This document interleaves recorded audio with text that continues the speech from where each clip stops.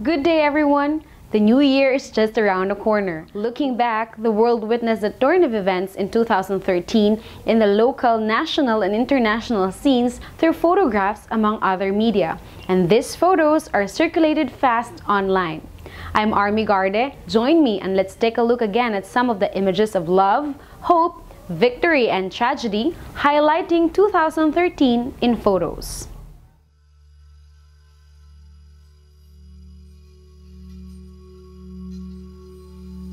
Photo of the stunned-looking Argentine Jorge Bergoglio, who shyly waved to the crowd of tens of thousands of people in St. Peter's Square after he was elected Pope in March, made headlines in dailies worldwide and in social networking sites Twitter and Facebook. Bergoglio chose the papal name Francis.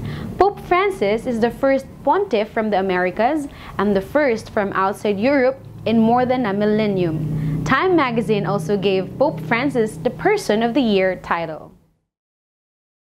Here are the photos of Filipinos here and abroad who made sure their voices will be heard at the Million People March done simultaneously as public demands the scrapping of Priority Development Assistance Fund following the pork barrel scandal.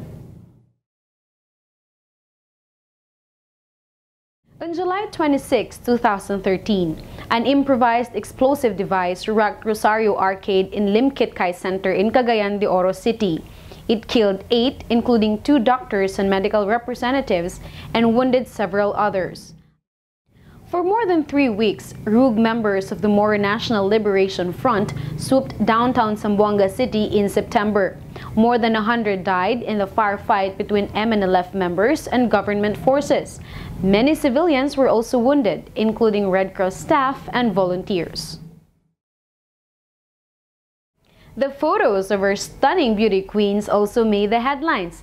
First off with Filipina beauty Megan Young, who bested 126 entrants around the world as she took home the coveted Miss World title.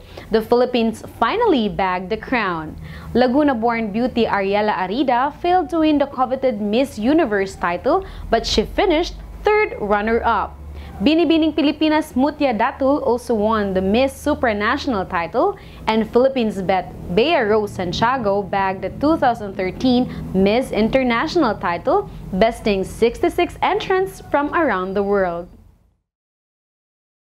The collision between the MV St. Thomas Aquinas and MV Sulpicio Express 7 occurred around 9.03 p.m. off Lawis Ledge in Cebu in August, killing more than 100 the Philippine Coast Guard said the number of rescued passengers remained at 700 plus. MV St. Thomas Aquinas sank after colliding with the MV Sulpicio Express 7. The collision also produced an oil spill that affected Cordova, Cebu. Pacquiao is back, erasing doubts about his boxing career. Manny Pacquiao bounced back from two losses after he defeated Brandon Rios for the WBO International Welterweight title in November. Pacquiao dedicated his victory to victims of Typhoon Yolanda, the world's strongest storm to hit land this year. He also spent time with the survivors days after his return to the country from his fight in Macau. Fans of the Fast and Furious movie series mourned after a car crash north Los Angeles has killed 40-year-old Paul Walker. The star of the Fast and Furious movie was on his way to a charity event for victims of Typhoon Yolanda in the Philippines when the accident happened. Photos of the magnitude 7.2 earthquake that jolted Carmen Bohol and other parts of the Visayas and Mindanao in October also circulated fast online. The quake killed at least 42 people and injured dozens others. And here are the photos capturing the devastation brought by Typhoon Yolanda, international code name Haiyan in Tacloban City and other areas in central Philippines. Yolanda was considered as the strongest tropical cyclone in the world in 2013. The National Disaster Risk Reduction and Management Council said that as of November 29, 2013, the death toll from Super Typhoon Yolanda rose to 6,155. Hundreds of bodies are yet to be buried, more than 40 days after the storm struck.